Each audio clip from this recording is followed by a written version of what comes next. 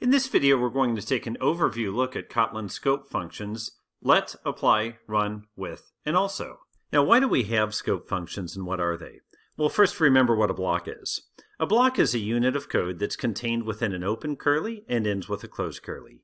Within that block, any variable declared has scope. In other words, it's alive within that block, but then it gets cleaned up once that block is finished.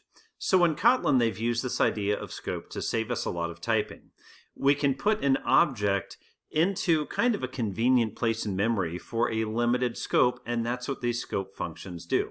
So they save us typing because we can access an object without its name, we can access an object without assigning it to a variable first, and then we can refer to that object either with the lambda variable it or with the variable this. More on that to come in just a moment. But the reason why a lot of people like Kotlin is that you can do a whole lot with a lot less typing. And these scope functions are key to that. So let's consider what I mean by this with an example. This is a simple example of how you can use a scope function, and if you're kind of looking for something where you want to pin your knowledge, this is a good place to refer back to. So if you're a traditional Java programmer, or maybe you, you have used Kotlin without the scope functions, you might recognize what we have on the left. We're declaring a variable called plant with a lowercase p of type plant with an uppercase p. And then immediately after that, we assign values to the genus, species, and common attributes on this plant variable.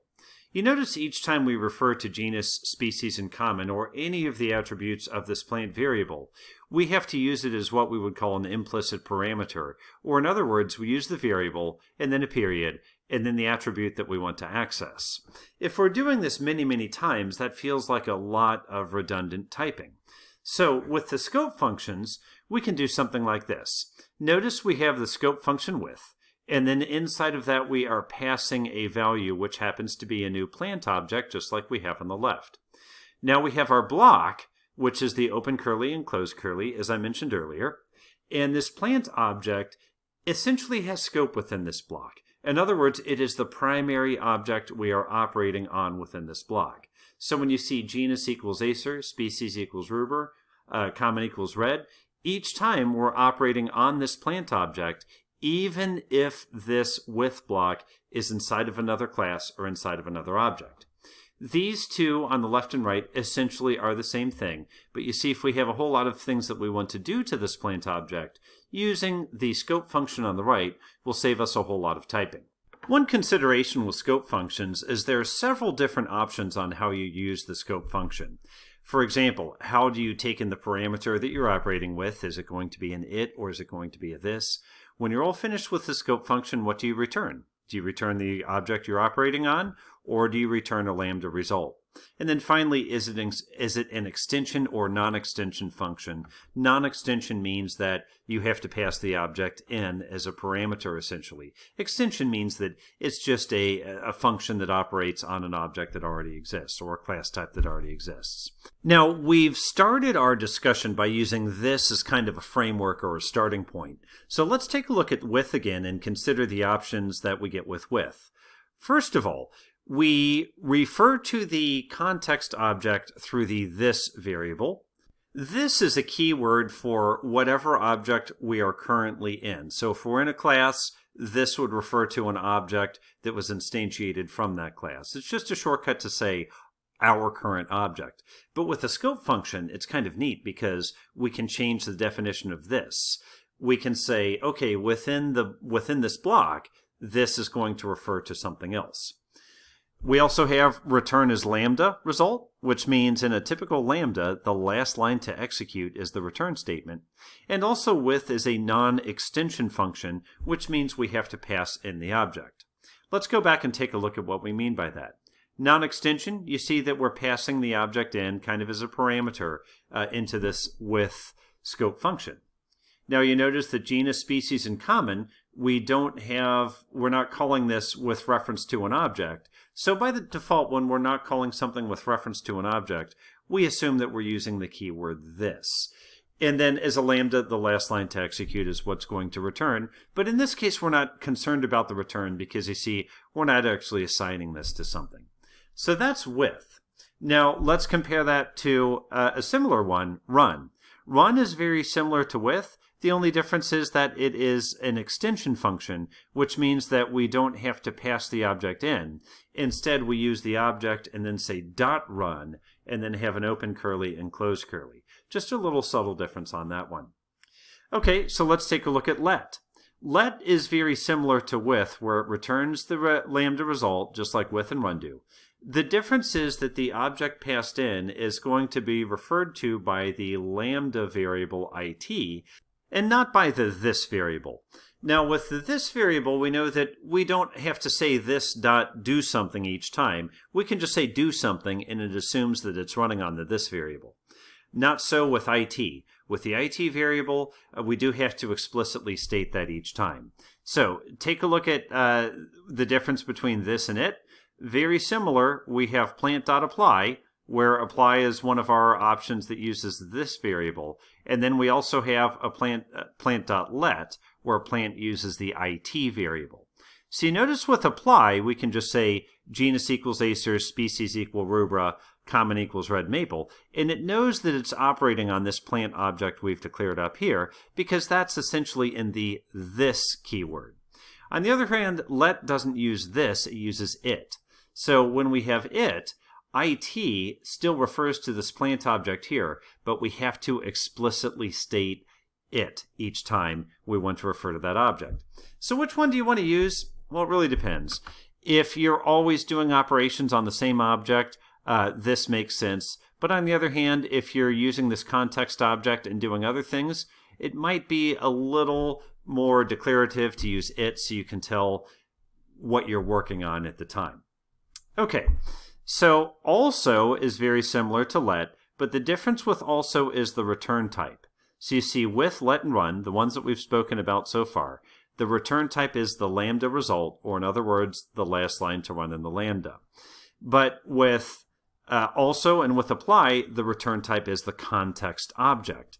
Now what does that mean? The context object is the object that we're passing into this scoped function. So by the return type being the context object, it means we're going to receive this context object, we're going to perform some operations on it, then we're going to return it, which gives us the opportunity to chain things together. So let's take a look at another example. You see here we have a plant object and we're using apply, and we're doing some operations on this plant object. Then when we're done, it's going to return that plant object, and we run yet another apply on it, and we do some other operation on it. So when we're returning the context object, instead of returning the lambda result, we have the option to kind of daisy chain things together and do a whole bunch of operations at once.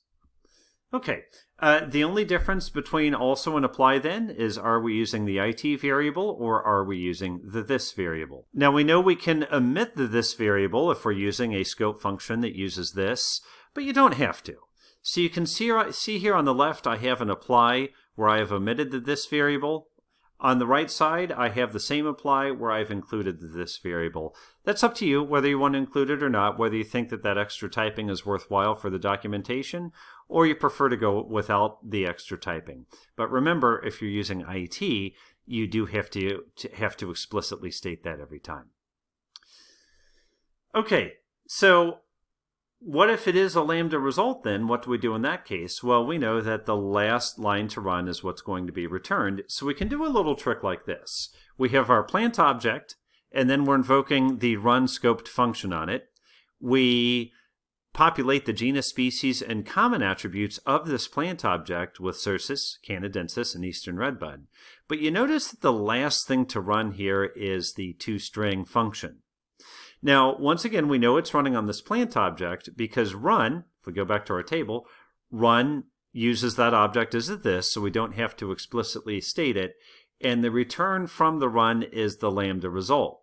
So back to our example here, plant.genus equals Cercis, plant.species equals Canadensis, plant.common equals Eastern Redbud, and then plant.toString. And we're assuming here that plant.toString is maybe going to assemble all of these together into one consolidated string. And now take a look, because the result or the return value from a lambda expression is the last line to run, what we can do is we can add our assignment operator right before this scoped function, and we can assign the return from the scoped function to a variable. And that's what we have going on here. Now, let's look a little deeper at also while we're talking about these scope functions. And if you look at the definition of also on Kotlin, it, it kind of leaves a bit to be desired if you're not if you're not familiar with the syntax. It says inline fun T, T also block T, arrow unit T. And that can kind of cause your head to spin if you're not quite sure what's going on here. First of all, let's look at this T dot also. That's the context object that we keep speaking about. That's the thing that is in scope within this block. Now, also we said is an extension function, and that's something that's unique to Kotlin.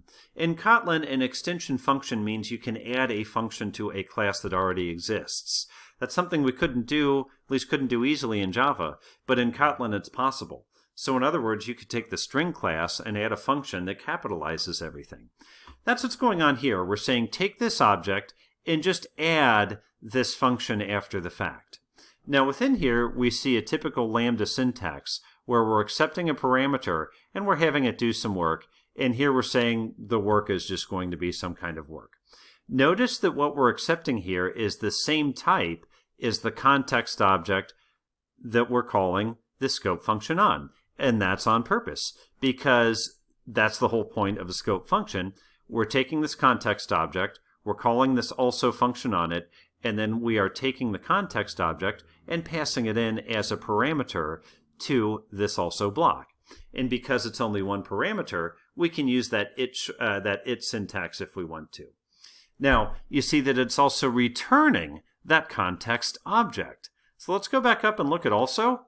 And we see also, okay, we can pass in a parameter and use it as an it, and then it returns the context object. So in a little more symbology than I used, that's what this line is saying.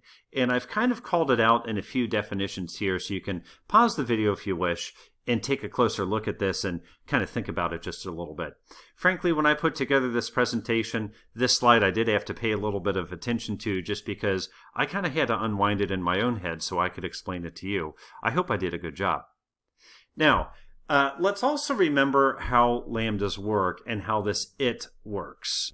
First, let's quickly remember what a lambda is from a previous presentation I did. I talked about the differences between a Java uh, method and a Kotlin function, how we move a few things around here, and essentially from a Java method we get to a function.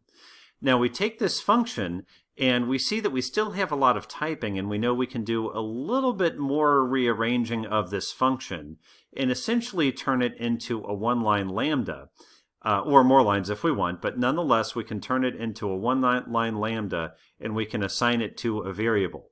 In this case we've taken our parameter, we put it on the left side of this arrow, and then we know we can use it on the right side of this arrow, which is where we're going to do our work. Now in this case we only have one incoming parameter, it's called factor, and it's of type int. If that's the case, then we get to shortcut things a little bit and we can take out that entire parameter and we can also take out a couple other things that can be inferred.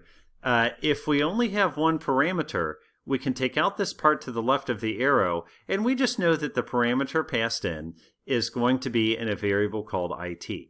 So removes a bit of typing. We simply have to change our reference on the right to it because that's the default single parameter name. And then once we do that, we can get rid of all of this stuff on the left and our lambda becomes much simpler, much more consolidated. That same rule applies to these scoped functions that use the it operator. You see, we, we don't have to use that default it. We could go ahead and declare it and say first name and then goes to foo first name like so. Or we could go ahead and chop off that declaration over here and just refer to it as it. So that's kind of your own choice. Do you want to go with the default it or do you want to give the parameter a name? The times I give the parameter an explicit name are when we have multiple alsos that are chained together. You see here in this example, we have an also on one object, and also on another object, and then an also on yet another object. All of these are nested. Think twice about that. Do you really want to do that deep kind of nesting because it does get a little bit hard to read? Well, just be careful. But if you take a look up at the very first also, you see that we are explicitly declaring the parameter name take picture intent, and you'll see that take picture intent is referenced several times in the block that follows. Now, the second also, we actually don't do anything with the iteration variable. But the third also we do, and you see down here, we're referring to the, to the lambda implicit parameter or the iteration variable as it, which is different from the variable up here. The reason I point this out is you see that we have the lambda variable here for this also, but within that same also block, we have the lambda variable that was declared for another also. So my rule of thumb is you should explicitly declare the variable name if you have nested blocks, nested scope function blocks, or you anticipate that you will at some point. Otherwise, if it's just a quick and dirty, safe to go ahead and use the IT. So that is a look at scoped functions in Kotlin. I hope this video has been helpful, and I look forward to reading your comments. Thank you.